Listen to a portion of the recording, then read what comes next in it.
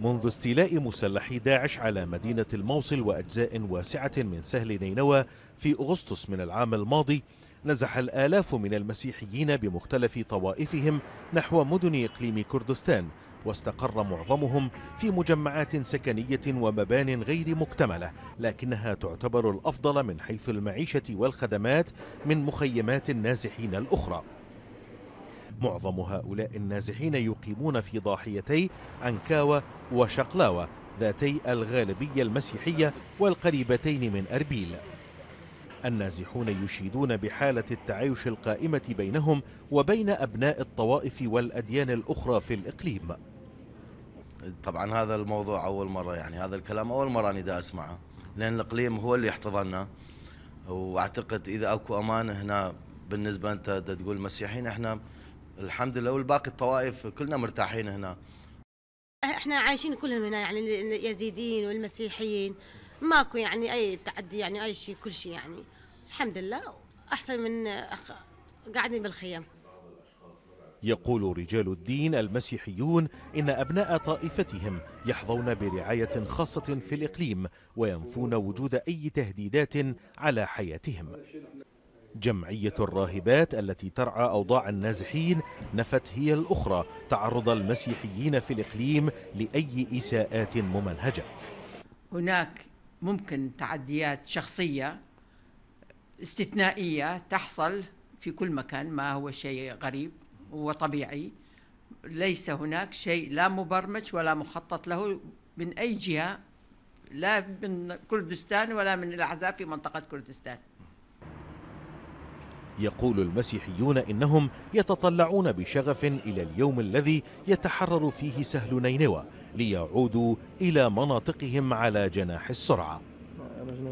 يجمع المسيحيون النازحون في إقليم كردستان على أنهم يحظون بالأمن والسلام وأن أوضاعهم المعيشية لا تختلف كثيرا عن أوضاع أقرانهم المقيمين في المخيمات رغم قلة الرعاية وشح المساعدات الإنسانية.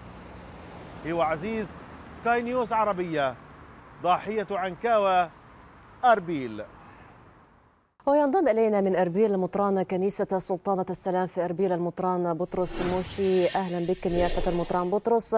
وضع صعب للكثيرين الآن في العراق. نزوح جماعي للآلاف من المسيحيين إلى إقليم كردستان العراق. لو تحدثنا أكثر عن وضع المسيحيين من نازحين في كل أرجاء العراق؟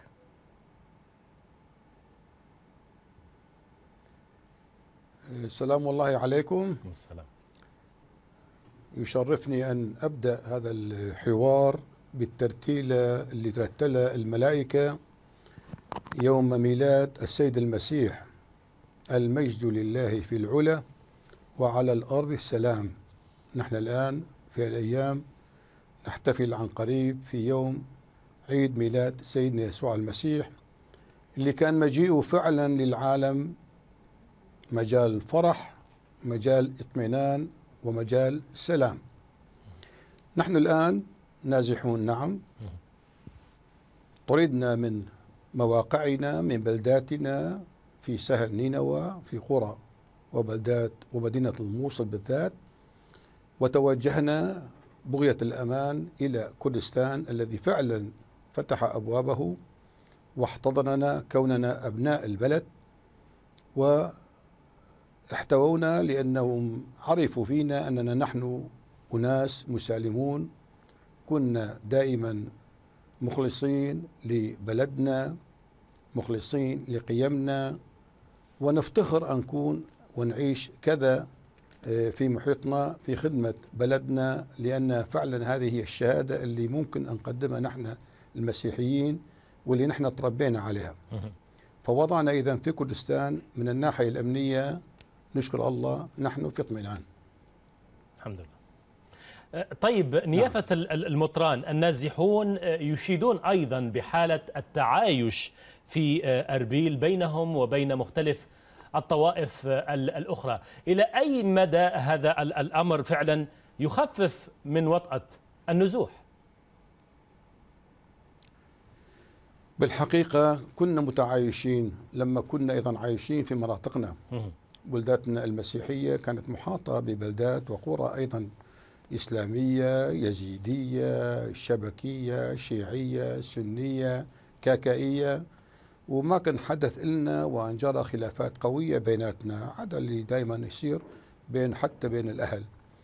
لكن آه، الآن أيضا واصلنا على هذا التعايش. وأقدر أقول وهي شهادة لله أنه في أول مخيم فتحناه في كنيسة مارتشموني اللي كان بعد خيم كان معنا في المخيم ذاته 44 عائلة كاكائية مع ثلاثة عوائل شيعية وكنا نخدمهم كما نخدم إخوتنا وأبنائنا المسيحيين الآخرين. وأيضا دلالة على أن هذا التعايش استمر هو أنه حاولنا أن نفتح إذاعة. كان عندنا إذاعة في قرقوش باسم صوت السلام. ما قدرنا أن نحافظ على الإذاعة البث اللي كان في في قرقوش. حاولنا أن نحصل على بث في أربيل وسمينا الإذاعة السلام من دون صوتية. هالإذاعة فعلا تخدم النازحين بأكملهم الشيعة والسنة والأكراد واليزيديين والمسيحيين.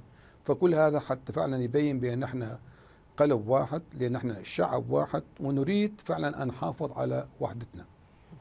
طب نيافة آه، آه، المطران نعم. النازحون تحدثوا وقالوا بأن ربما الأوضاع المعيشية آه، وأمنية مستقرة لحد ما في كردستان العراق بالنسبة لهم ولكن اشتكوا من قلة الرعاية الصحية وغياب المساعدات نحن الآن على أبواب الأعياد كيف يتم الاستعداد لاستقبال هذه الفترة؟ بالحقيقة الشكوى بالذات ما هي قلة المستوصفات؟ نحن حاولنا منذ أن وصلنا إلى آه، عنكاوة أن نفتح مستوصفات ونوفر الأدوية الضرورية اللازمة لأبنائنا. لكن المشكلة هي كي تصير لما يكون عندنا حالات خاصة وخاصة عمليات. فالعمليات شعبنا ما بسهولة كي يحصل مجال أن يجريها في المستشفيات الحكومية اللي هي شبه مجانية. كي تجي بالضرورة إلى مستشفيات أهلية اللي تكلفوا فعلا مبالغ ومبالغ طائلة. ونحن في وضع جدا جدا تعبان. أنا شخصيا في بداية النزوح كان جمعت مبلغ محترم. فكرت أن يكون فعلا هذا المبلغ يخدمنا ويخدم شعبنا في المجال الصحي. وكنت أحاول أن أقدم 25% من تكاليف العمليات. لكن المبلغ مع أنه كان حجمه يحترم أكثر من 196 ألف دولار. الم- المبلغ كله انتفى في أقل من خمسة أشهر. فشعبنا اليوم يعاني من هالناحية. يحتاجون مساعدات مادية خاصة للعلاجات وللعمليات اللي تكلفهم كثير. ربما هناك أيضا حاجة مادية من ناحية الإيجارات. صحيح من ناحية الأكل والشرب. نشكر الله ونشكر المنظمات. كثير يهتمون من الناحية وماكو أي قصور من الناحية هو. ما يصلي جماعتنا ليس بقليل. لكن الإيجارات للناس اللي هم فضلوا أن يعيشون في بيوت مستاجرة على نفقتهم يحتاجون اليوم إلى دعم حتى يستدم ويستمرون محافظين على كرامتهم وعيشتهم هل لديكم أمل آه، نيافة المطران في آه، تحرير سهل نينوى قريبا؟ هو بالحقيقة أملنا بالله وأملنا دائما بالناس الطيبين. وأتصور أنه عراقنا وعالمنا بالذات ما يخلى من نيات طيبة وناس طيبين. فأملنا إن شاء الله أن يكون بالقريب العاجل حتى نقدر ونرجع ونسكن مثل ما كنا في مناطقنا بأمانة ونقوم ونشترك في بناء وطننا في مناطقنا طب نيافة المطران كنا نتحدث عن الأعياد وبدأت حديثك بالأعياد في في ظل هذا الجو هل من استعدادات ربما مختلفة عن كل عام؟ بالحقيقة كان نحاول أنه نحن العيد هو شيء مهم هو والعيد هو تجمع المسيحيين حول الكنيسة ولأن نحن في منطقة ما كان عندنا كنايس موجودة قدرنا أن نستخدم كنايس بقية الطوائف اللي هم عايشين في عنكاوة وفي أربيل ولكن حاولنا أيضا نخلق آه، كنائس من كرفانات في مناطق معينة أو نستخدم قاعات حتى نجري احتفالات مالتنا ونواصل آه، خدماتنا الكنسية. ولهذا نحاول أنه فعلا أن نقلل من أهمية هذا العيد حتى في تهجيرنا. فيشوف أنه الزينة ويشوف التحضير والاستعداد هو من الآن موجود. حتى شعبنا يشعر بأنه فعلا ما هو غريب ولا هو في منطقة جدا نائية معزولة إنما يقدر أن مثل ما يقدر أن يستمر في الحياة الاعتيادية يقدر أيضا أن يستمر في ممارسة طقوسه الدينية. شكرا لك نيافة المطران بطرس موشي مطران كنيسة سلطانة السلام في أربيل. شكرا جزيلا لك.